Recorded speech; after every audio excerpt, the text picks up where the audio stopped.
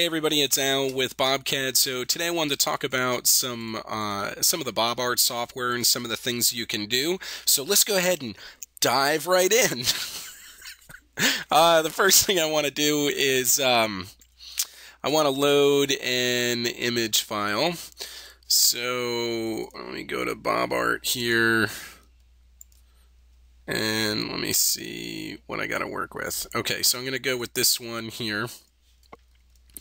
So this is uh, this is uh, a logo, and uh, so I want to talk about uh, converting images into lines or arcs. Okay, so uh, one of the things that you can do is you can run a, a spline around this and uh, you can trace this image yourself. And this is one of the ways that you can convert an image into lines or arcs that you can work with. Okay, so you can see I was tracing around it. Now I'll use I on my keyboard. I is going to toggle uh, the image on and off. And then under my utilities, I have deform. And uh, deform is going to let me pull the shape in or out so I can get it closer to what I'm looking for. Okay, now that's one of the ways that you can take an image and uh, convert it into lines or arcs is by tracing over it. Now, another option you can do is you can use the auto vectorization where we can just come in here and we can uh, vectorize that uh, image. And by vectorizing it, we're going to convert that image uh, into lines or arcs automatically. Okay, it's very quick um, and an easy way to convert uh, images into lines or arcs. Okay, so now that we have uh, some lines or arcs, the next thing that I want to look at is creating an emboss model. So, you know, BobART does a number of things. Um, one of the things it does is let you work with images where you're either going to trace over them or you're going to vectorize them or convert them automatically into lines or arcs. That's one of the things that it does. Um, one of the other things it will do is create an emboss model. So using 2D profiles, you can emboss in 3D to create um, you know, signs and logos and uh, different things like that. So from here, what I've done is I've created a uh, stock model. Now you can change the, the size of your stock model um, so that your geometry fits within it. But that's that's what I started with was the stock model. Now, when we right click in here, we get a number of different embossment types. You know, regular, sweep, two rail sweep, image. There's all these different types. The first one I want to, I'm really only going to cover a few in this video, but I want to talk about regular embossment. This is probably the most popular one that you would use. Um, we're going to change the color of it. Now, what you have is a cross section. So this is uh, what a cross section of the part would look like. And um, you have line, arc, spline, uh, ellipse. You have all these different options. Now, here recently, we also added a custom profile too, so you can actually emboss with your own custom profile versus just uh, the options that we have in here. So that's definitely a new feature within the last uh, uh version or two. But in this case, we're going to do uh, convex ellipse. I'm just going to add a little bubble here and then my application type is going to be an add and I'll choose OK. All right, from here I'm going to go ahead and select some of the letters here, which will be these letters here spacebar to lock it in, and then I'm going to regenerate. Now, when I regenerate, um, when I regenerate, you can see that we have our emboss model um, starting to come to life. If I hide my font, you can, or if I hide my text, you can see uh, what's going on here. Now, one of the, one of the things that we can do is we can come back and we can edit um, our cross section so we can pull that up or down or make it bigger or smaller. But another very powerful tool is this base height here. With the base height we can move the letter up or where it starts from we can move it up. So in this case let's make it 125 and then we'll go ahead and re-emboss. And now what's going to happen is the letter is going to be 125 high before we get the embossment of that um, convex ellipse on the top. So this is how you're able to move uh, geometry around, okay? Uh, as far as your embossments, your levels, like where it starts embossing from, and uh, you can use that to dial in your design. Now, the next thing I want to do here is I'm just going to sketch a rectangle. like this. Okay, so now I have a rectangle, and then I'm going to do another regular emboss, okay? So we're going to do emboss regular. This time we're going to do it a line. Um, all right, we're going to leave basically everything the same. I'm just going to make this a different color, and we're going to choose OK. We'll go ahead and select this boundary here and then we'll regenerate. Now what you're going to see is that this rectangle, we get this angled line because we did an angled line embossment, but you can see how it's where it comes into the green letters, you can see how it, it goes up high. It embosses high on that, okay? And um, the reason why this is happening is we're doing an emboss add. The application type is an add.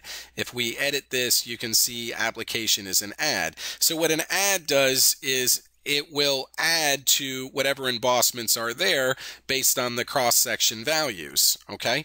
In this case, what we want to do is we want to create that line, in, uh, you know, this angled surface in the background, but we don't want it to edit the letters. So we're going to use a merge high applic application type. And what this will do is this will emboss along there, but now it only cuts through the model where it's at a high point. So instead of going adding to the letters that are already there, it embosses where it's located and wherever it uh, wherever it intersects above the top of the model. Uh, the previous embossment, that's where that comes up. Okay, so we get some letters here. This looks pretty good. What I want to do is I want to add some of these other letters here. So I'm going to go back in and I'm going to select these other letters. Now, generally, if I have a bunch of uh, letters that I'm working with, what I would end up doing is putting these on their own layer um, or using a separate color so I could select it very quickly. But we're going to go ahead and add that and regenerate and then now we have what we're looking at here. So we did two regular embossments. We covered adding. We also covered merge high. The next thing that I want to talk about is um, two rail sweep. This is by far one of the more popular embossment types. So I'm going to hit E on my keyboard to uh, hide my emboss model. Okay. And then from here, I'm just going to create uh, a spline. So I'm just going to kind of do a little shape like this and then I'm going to do another little shape like that okay? So that gives me my two rails and then from here I'm going to do my cross section. So my cross section is going to look something something like this okay? Let me deform it a little bit. So I'll pull this or not unwrap okay. Deform let me just pull that down a little bit. That looks good Okay, so now what we're going to do is a, a, a, two rail sweep. So we'll go emboss, two rail sweep. Okay. Uh, from here, we'll just make it a different color again and choose OK. Now we have our first rail, we're going to select it.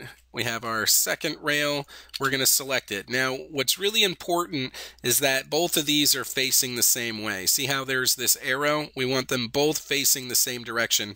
Otherwise the, uh, the surface or the embossment that's created will be all twisted. Okay, And then the next thing we want to do is create this uh, cross section here uh, or select the cross section here and then we're going to go ahead and regenerate and then I'll unblank my emboss model and now you can see that we have an emboss model generated. Alright, so we're going to do the same thing that we did before where what we're going to do is we're going to add the base height. So we're going to push it up a little bit higher. So we're going to edit this. We're going to go to our base height. We're going to add a value here and then we'll go ahead and regenerate and now you can see that's come up a little bit higher. Okay, so again, we did the regular emboss, uh, we did an add, we did a merge high. We also did uh, the two rail sweep, and you have the applica uh, application type to add or a merge high uh, or a cutaway as well. Okay, so let's go ahead and just go a little bit further here. What I'm going to do is draw a rectangle and it's going to be like this. All right, so from here, I'm going to, okay, so we have this here. Um, what I'm going to do from here is, create one of those like that. And let me move that out of the way. This is just going to be, let me break this into some pieces. Uh, let me, I'm sorry, let me divide it. Break many, divide. Let's go four pieces. All right, get rid of these two here. All right. So we're going to do a two rail sweep again. So we're going to do two rail sweep. There's going to be an add. We're going to do one here. And then we're going to do one here.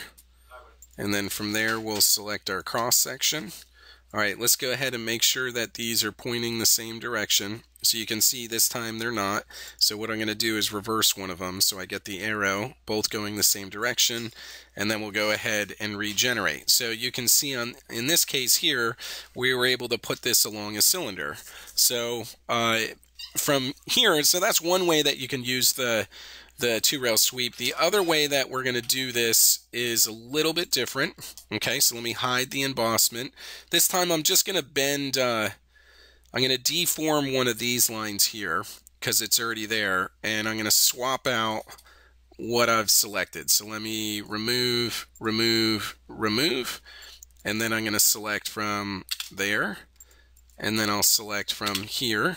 Again, I want to make sure that my arrows are facing the same direction so I'll reverse this one.